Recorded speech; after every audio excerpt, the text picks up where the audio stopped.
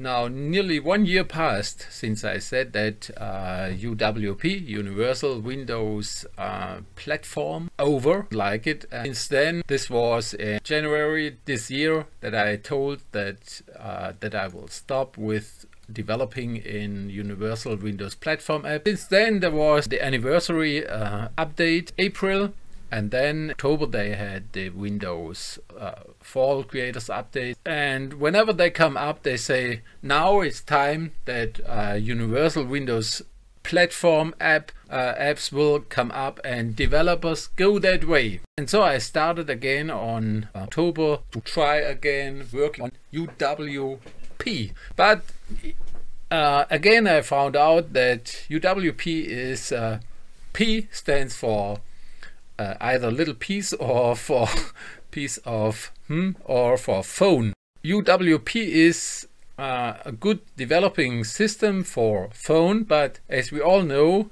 the phone, Windows Phone, is cancelled.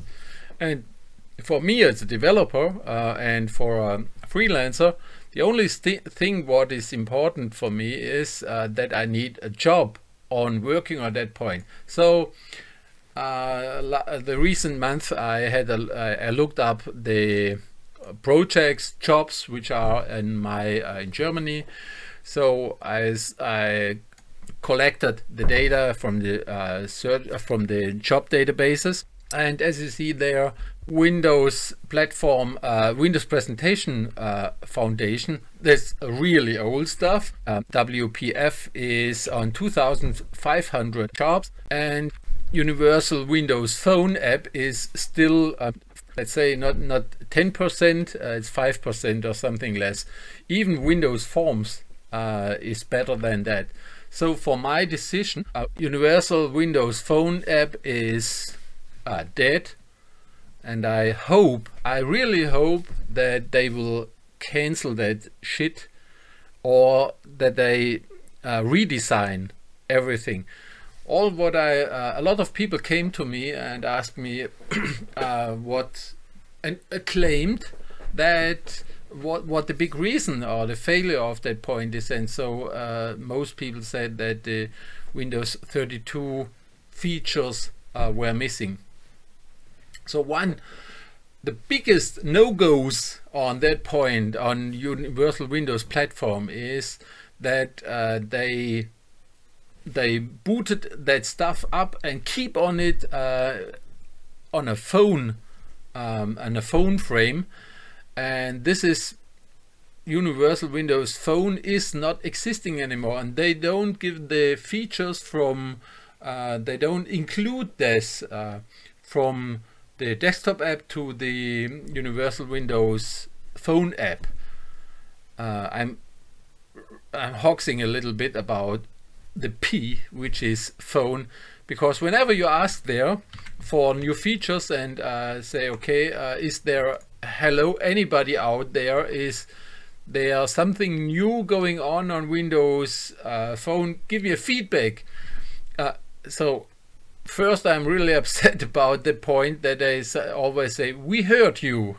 We heard you is uh, this is uh, this is like beat into, into my face. Um, it's terrible because uh, on Windows, uh, Universal Windows platform is dead. Nobody, and whenever you ask something there, they will say, uh, we don't do that. Let's say uh, two big things because, because and they're working on uh, the phone frame means that they have um, sandboxing and they don't leave anybody out of the sandboxing except Microsoft and partners itself. So why do why am I uh, saying like something like this? Have a guess and look uh, look on the um, on the Windows 10 Photos app because the Windows Photos app is when I started I may open that point and then the software starts and grabs um, a, um, a, file. This is Universal Windows phone app and they have some pretty nice features in there but they are allowed to open that point. Uh, now this is on a, for example, this is a file which is on my D drive and Microsoft is able to open that point.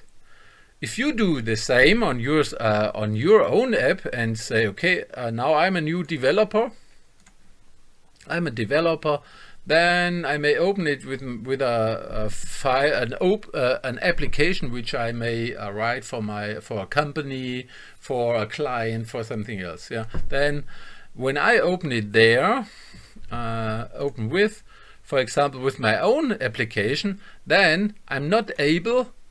Uh, the, the the user has to select the file uh, manually, but uh, you as a developer are not allowed to tell the the user uh, what which file or folder it has to open. So you have to click on there and have to say, uh, I have to tell them, okay, uh, go to the D drive and uh, give the allowance to uh, to that uh, to that folders.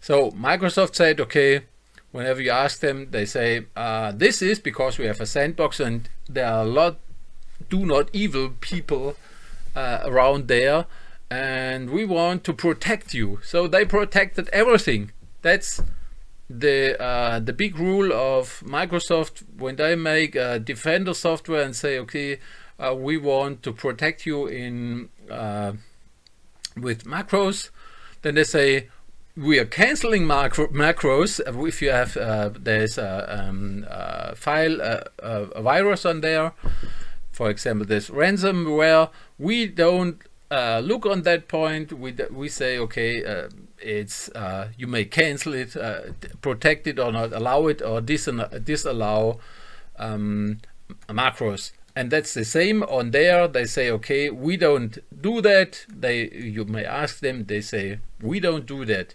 And now, whenever it's uh, whenever the updates come up, so when it's Windows 10 half a year later then they come up again and they say now we have those big beautiful features and uh, Mr. Gallo comes there and say oh please take my uh, please. Now it's creators update. We have pretty good features like uh, where's it? Like what they have now. There's uh, this is the uh, those colors. There's a great good feature.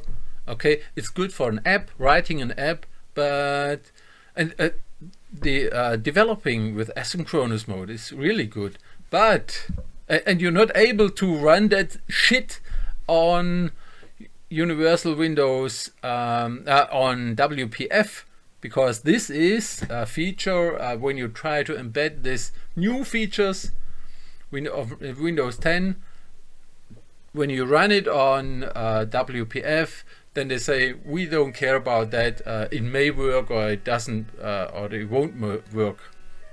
So I thought that I would bring something really great new uh, in uh, the fall update. So what I had there is Xamarin. Xamarin, okay, uh, when you have a look on that, you will see that Xamarin for example, uh, there are a lot more people working with Xamarin uh, nowadays. So those are 500 uh, jobs um, offered by which uh, usually that's in Germany it's Daimler and those big companies they want to do the, in parallel de developing um, iOS and Android. but if you want to do something real, then you go not to the small one, you go to the real one. Um, okay, so this is Xamarin and Universal Windows Platform is one fifth of that point.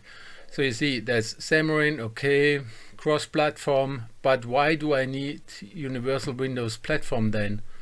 So it's and yeah, they have swipe control now. Okay, that's smartphone, tablet, uh, animations then they have a color picker, great. Now this is all what you see there, acrylic. Then they had um, the project Rome here. That's all what I did.